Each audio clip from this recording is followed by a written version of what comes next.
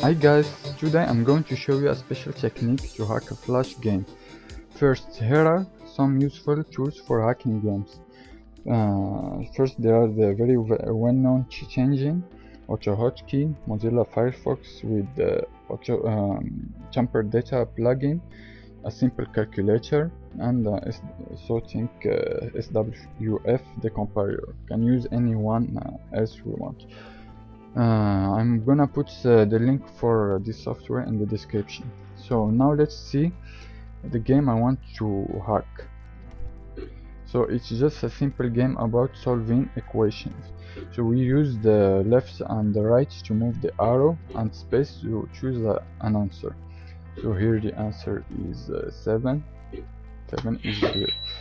So when uh, the game is over, we have uh, information that are sent, that are like this one. Uh, so we can see that is uh, going to close this first.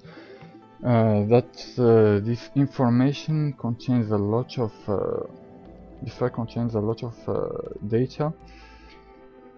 Pages and pages hundreds of pages long you might ask me where I got this this file it's when I used to play this game online I used the Mozilla with Tamper Data to capture what my PC sends uh, to the server. So here is an explanation of what uh, this uh, file contains. It contains email, date plus time of uh, starting the game and when it ends, and score which is encrypted, plus the history. This history contains uh, random numbers plus keys that were pressed and other things like uh, wrong and and uh, correct answers.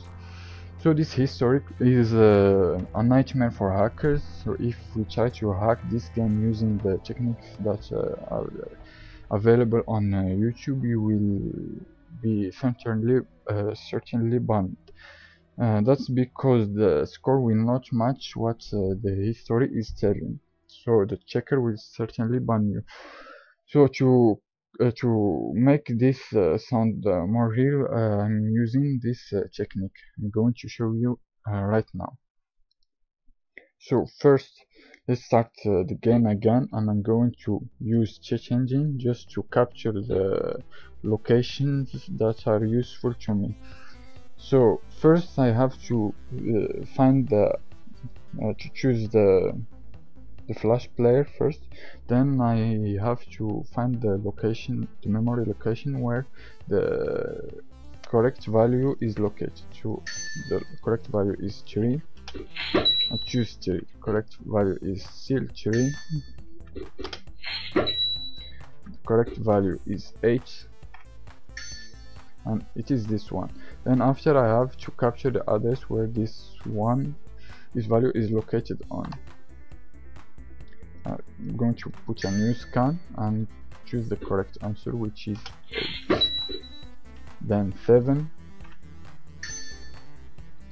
I'm choosing 7 then 6 and it's this one. Then the same goes for the next position new scan contains 0 I'm going to answer with 8 next value contains 8 going to answer with 7 next value contains 3 and it's this one.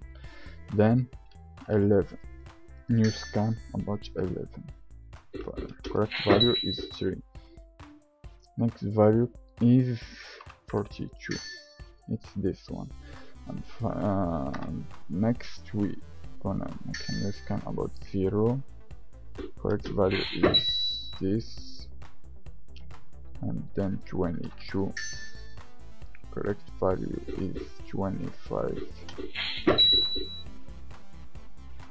46 it's this one.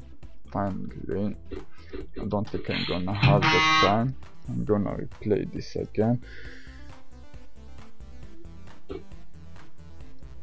I'm gonna put a new scan. That contains 3 so 3 I'm gonna answer with 8 next value is 9 still have two values. Correct answer is 9 3 and this. So I finished with this uh, game uh, since I have all the value the location memories I need. I'm gonna just input them in the the AutoHotkey file I already made. This script uh, is uh, looks like this. I have to input just uh, this uh, information then uh, you can I'm gonna upload this file uh, this in the description. You can uh, see it more closely. Most of the things are self-explanatory. You can also change things and uh, arrange things as uh, you want. So I'm gonna use the information I got from cheat engine I'm gonna change these addresses these addresses here as they always change when I start the game. So I'm gonna do this for everything. Copy and paste.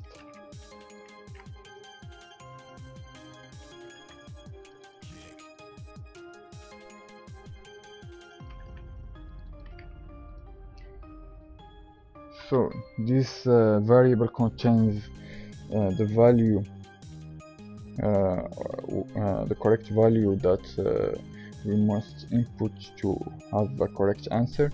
This v0 contains the value that is located in the far left corner uh, and same goes until value 4 so here is the algorithm.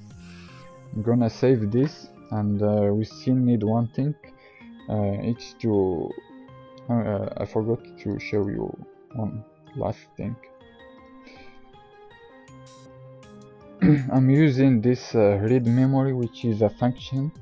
Uh, I got this uh, I just uh, downloaded this function from uh, Hocho Hotkey forum. You can see uh, get a lot of stuff from stuff from there.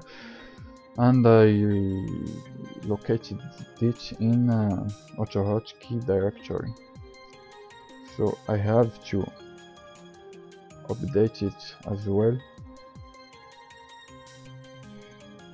So it looks like th this. I have only to change this number. This number corresponds to the process ID of my game. So the process ID of this game is this one. This one is written in hexadecimal. I have to convert it to decimal. So it's 11 f9 I convert it to decimal which is um, 4006 4600 4600 I save this and close all this stuff and now it's gonna see if uh, what we have done is working. Gonna start the game and I'm gonna execute this file. And now I hope it, it will work. So as we can see here I'm not pressing any key it's doing it by its own.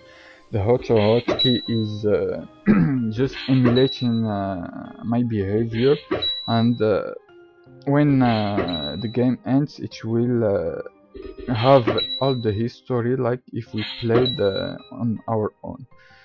So it's very hard to detect and uh, I hope you like this technique. It uh, can change from one game to the other. So finally I have made this vi video for education purposes. I also want to make uh, developers aware of this problem if uh, they want to to make a more secure game in the future. If you have comments please write them down. Thank you for watching and see you soon. Bye bye